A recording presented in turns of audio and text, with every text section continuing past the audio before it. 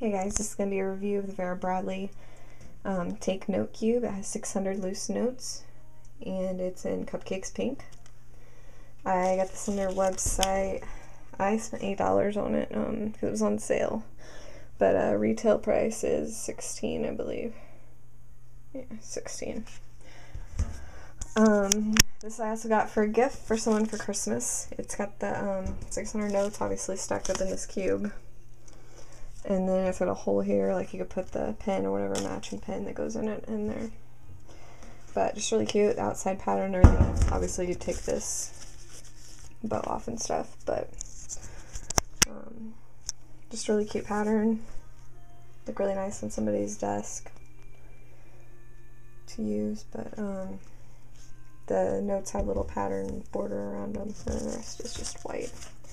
But 600 notes, I mean, that's going to last you a long time. So, yeah, I just thought I'd uh, show this before I get it all wrapped up and everything, but really cute little one of Vera Bradley's stationery items. It's the Take Note Cube and Cupcakes Pink. Thanks for watching.